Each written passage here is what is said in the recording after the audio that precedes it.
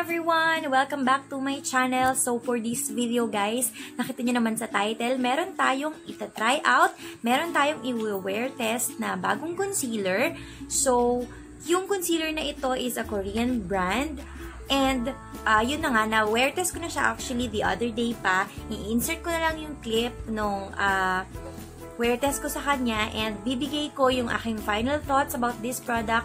And if you want to uh, see kung ano yung mga final thoughts ko, kung ano nangyari sa aking pag-wear test, please keep on watching.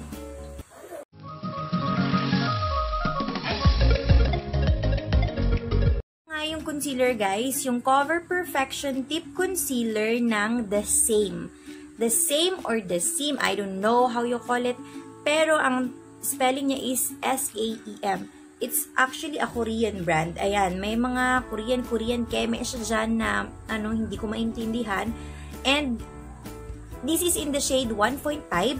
Yun na yung feeling ko na uh, shade na ba, na sakto sa skin tone ko. And this one has SPF 28 PA+++. So may uh, ah, SPF na din siya. Kaya okay din siyang gamitin lalo na dito sa ating uh, sa ating bansa which is sobrang init, ganon. And nakalagay din sa kanyang packaging, yun ang nagustuhan ko sa kanya. Nakalagay sa packaging niya mismo yung kanyang expiration date, which is sa 2021. And, ayun, yung kanyang kulay is ganito, yung kanyang kulay gan ganyan. Para siyang uh, yellow undertone, which is good para sa ating mga Pinay. And, ganyan yung kanyang applicator. Just a normal doe foot applicator. And, honestly, akala ko malaki to. Akala ko medyo, nag-expect, nag-expect ako kasi sa picture, di ba? Medyo malaki siya. Pero maliit lang pala siya. Tingnan niyo yung sa fit me ko. Ayan, parang halos kalahati lang siya nung sa fit me. And ayun, nag-expect lang na ako, nakala ko medyo marami siya. Yung laman niya, guys, is hindi na... Hindi ko alam kung yung kung ilang gram siya kasi hindi nakalagay or siguro nakalagay siya dito, hindi ko lang din maintindihan kasi nga Korean, keme-keme. Yung kanyang uh, sulat. So, ayun. Actually, ito din yung aking suot ngayon na concealer. Ayan. And para sa ano sa price niya na 200 pesos, meron pang iba 190 lang siya. Depende kasi sa shop na mabibilhan mo. Pero guaranteed, it's authentic talaga. Sobrang thick ng formula niya, guys. And I think it's medium to full coverage. Ayan, oh.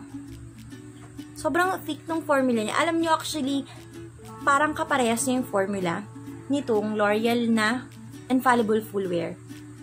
Tignan nyo. Papakita ko sa inyo yung kanyang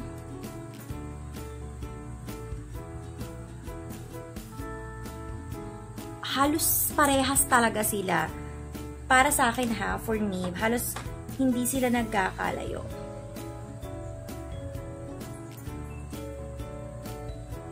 Ayan, parehas sila ng feels, ganon, yung thickness, ganon, mas madami lang nalagay ko dito. So, ayan. And halos for me, parang medyo parehas lang sila ng kulay.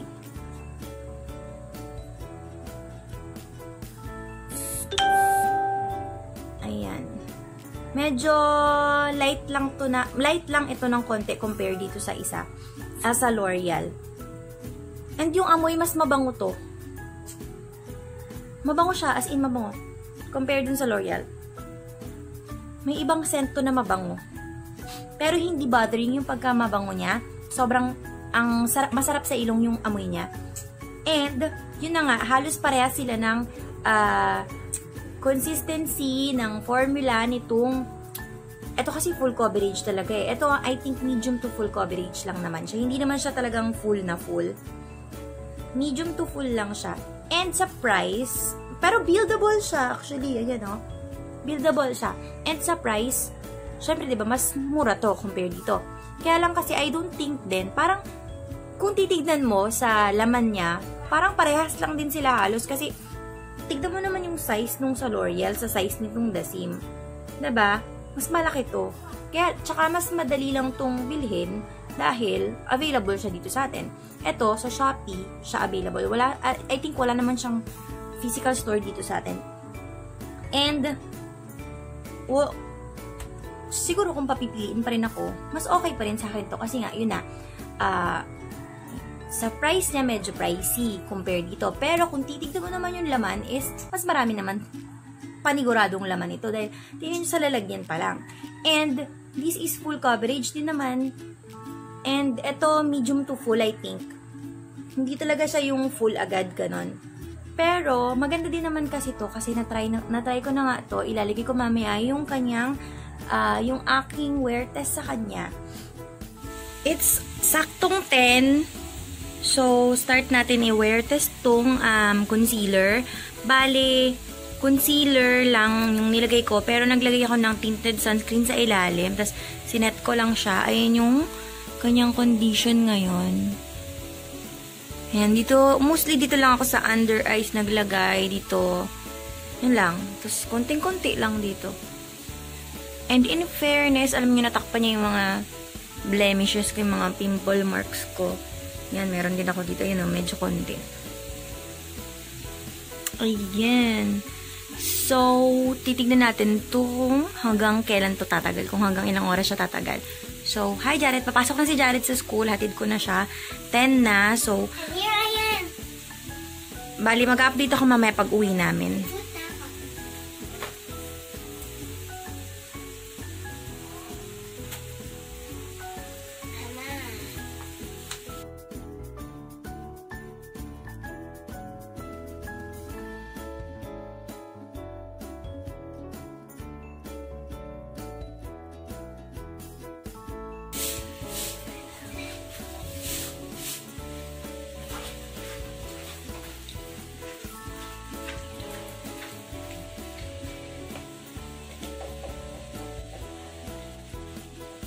Jared, yung mga hinubad mo nga, ilagay mo nga to sa washing machine. The real Avengers versus the, the baby Avengers.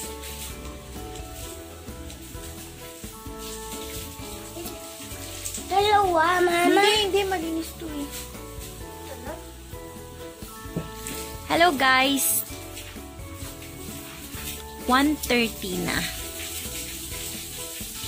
Bale, 3 hours na siya. Eh, 3 and a half hours.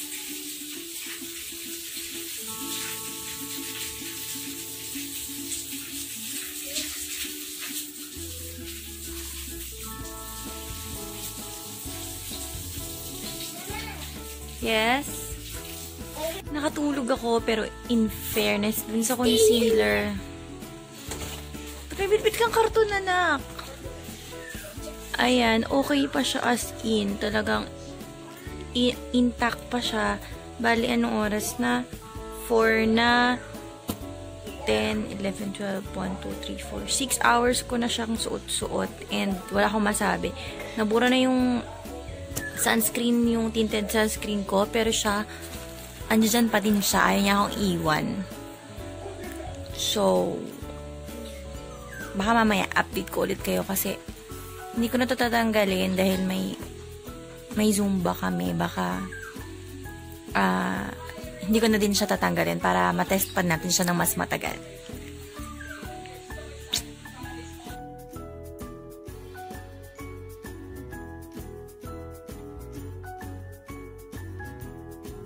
This is my final verdict about this product. Sa kanyang packaging, okay naman. Ang ganda niya. Sobrang ano lang, ah, minimalist lang. Black and yung parang normal na mga lalagyan ng mga concealer. Black. Tapos, ayan, kita mo agad kung anong kulay yung laban niya. And, ah, cute siya. Travel friendly siya. As in, kasi ang cute-cute lang ng lalagyan niya. And, yun nga, yung ah, information ng expiration date nandyan. And nakalagay dito, made in Korea. Walang nakalagay nga lang kung ilang grams siya. And sa kanyang applicator, okay lang din. Sakto lang, normal na applicator lang. Yung kulay na nakuha ko, okay naman for me. Sakto lang siya for my skin tone. And sa price, mura siya, pero kasi kung bibilhin mo, ba, mag-add ka pa ng shipping fee, so aabutin din siya siguro ng mga 300 250 to 300 pesos. Aabutin din siya ng ganong price.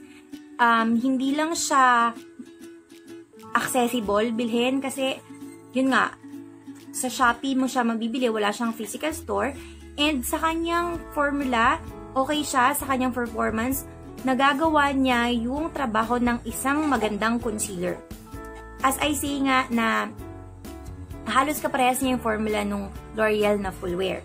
Which is maganda. Kasi maganda talaga for me yung L'Oreal. And yung amoy niya mabango. Mabango na hindi naman siya bothering. And what else? Yung kanyang performance, sobrang okay niya talaga guys. Alam niyo yung ilang oras ko siyang winner test. Umabot ako ng 11 p.m., 11 a.m. or 10 a.m. ako nag-start na i-wear test siya.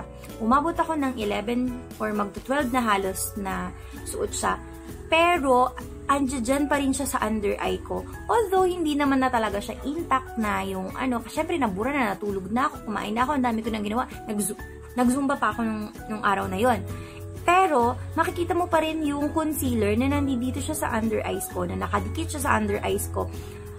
Nabura na yung mga nasa, nasa uh, ibang part ng face ko ng mga uh, product na ibang nilagay ko, pero siya nandun pa rin. Natanggal na yung eyeshadow ko, natanggal na yung kilay ko, natanggal na yung lipstick ko, lahat natanggal na. Pero yung concealer, nakita nyo naman dun sa picture, hindi na kasi ako nakapag-video uh, nun dahil nakalimutan ko na wala na sa isip ko nais, naalala ko na lang nung oras na yon So, nagpicture na lang ako. Ginamit ko na lang yung uh, rear camera ko para mas kitang-kita talaga. So, ayun nga, kitang-kita talaga dun sa picture na nati may natira pa rin talagang concealer. Hindi talaga siya totally na nag-fade uh, sa under eyes ko.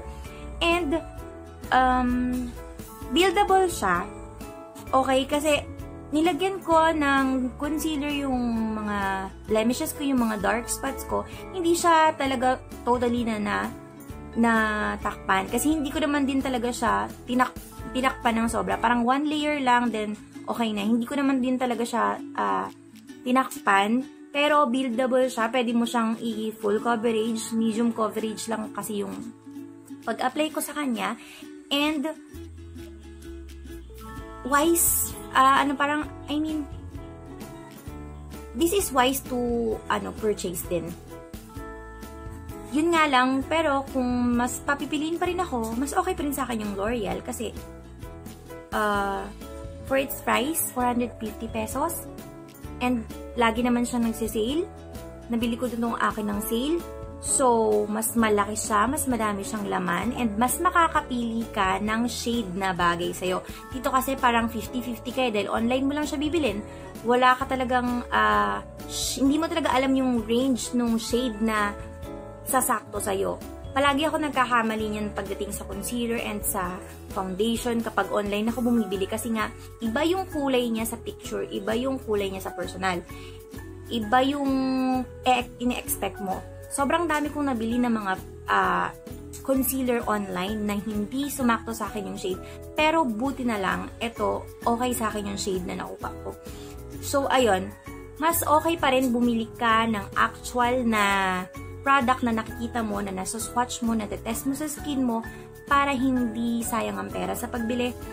So, ayun lang guys, for me sa performance wala akong masabi. Yun lang kasi yung mga cons niya dahil mahirap siyang uh, mahirap pumili ng shade kapag hindi mo kita ng personal. So, pero sobrang ganda din talaga ng performance. Paulit-ulit na ako sa maganda yung performance niya. Parang L'Oreal din talaga. And, yun lang guys. Uh, napapahaba na ako. Paulit-ulit lang din naman yung sinasabi ko. And, uh, that's it for this video.